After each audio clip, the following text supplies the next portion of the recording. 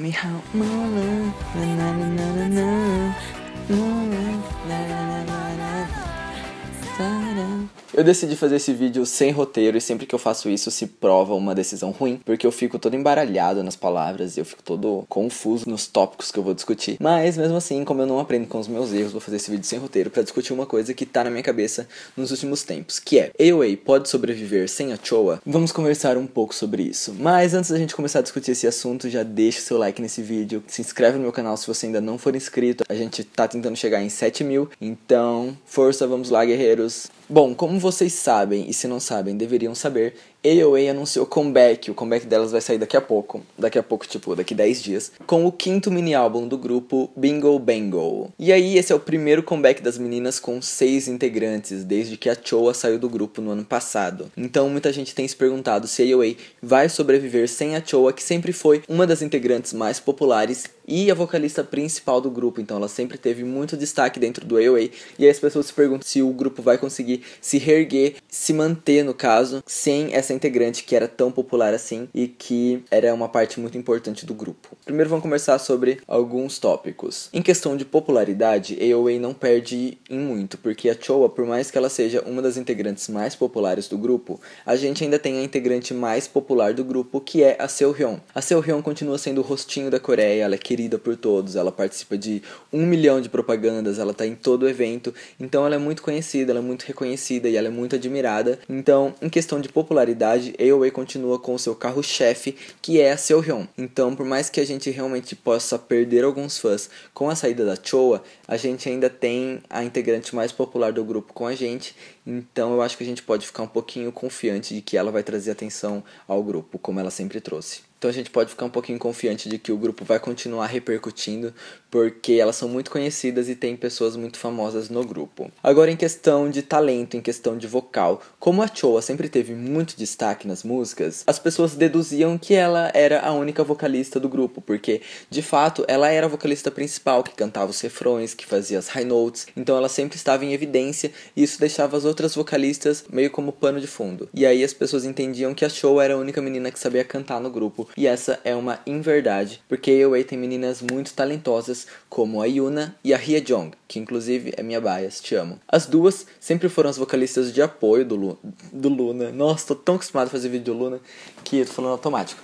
As duas são vocalistas de apoio dentro do AOA, elas estavam lá para dar suporte a Choa como vocalista principal, mas elas já mostraram o potencial delas em outras ocasiões. Já teve músicas em que elas tinham muito destaque, elas participaram da unit AOA Cream, onde elas tinham toda a parte vocal da música e a Chunmi ficava com o rap. E a gente não pode esquecer de Get Out, uma das primeiras músicas do AOA, onde a Jong dava uma high note.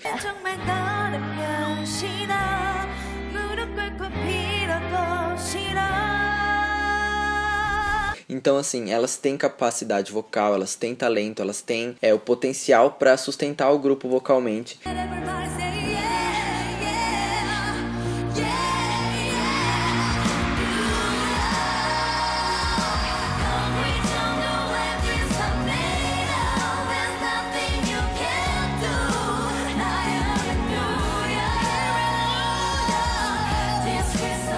Então eu acho que em questão de vocal a gente pode ficar despreocupado, contanto que a empresa saiba trabalhar os vocais dela, porque eu acho que a empresa cometeu algumas falhas em questão de vocal dentro dos lançamentos do AOA. Por mais que seja um dos meus grupos favoritos, eu não tenho problema em admitir isso. Por exemplo, em Heart Attack, que é uma das músicas mais famosas delas. O vocal da Choa no refrão eu acho completamente destoante do tom de voz dela. Eu acho que eles forçam muito a voz da Choa no refrão, de ficar aquele gritando para para para. Não, tipo, dá pra ver que tá forçado.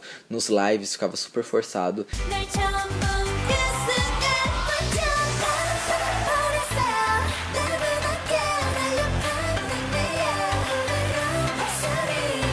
Então a empresa tem um histórico de levar a voz das meninas até uma área onde não estão confortáveis mais. Então a gente tem que esperar que a empresa saiba administrar as vozes das meninas agora e que não force elas a fazer uma coisa que soe diferente do que o tom delas tem potencial para fazer. Uh, nossa senhora, precisava de uma vírgula aí, eu não coloquei. O que a gente pode esperar desse comeback agora com os teasers é uma coisa bem tropical, bem verão, bem feliz, bem alegre, bem colorida. Pelos teasers elas estão usando patins, então eu acho que isso vai ser muito interessante de ver ou no clipe ou com muita sorte, com muita sorte na coreografia, porque já pensou uma coreografia no patins?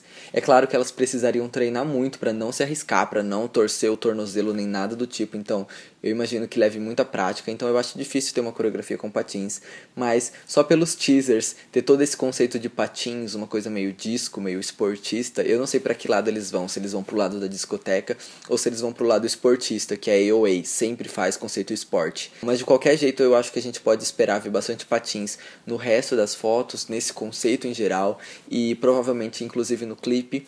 Então, eu acho que vai ser uma coisa muito gostosa de se assistir, muito diferente do que elas já fizeram, muito divertida, muito dinâmica, com bastante movimento, as meninas estão lindas. Então eu acho que a gente pode colocar nossas expectativas lá no alto para esse comeback. Então é isso, esse foi um vídeo muito rápido pra gente falar um pouquinho das expectativas desse comeback do AOA e se as meninas vão se sustentar ou não sem a Choa.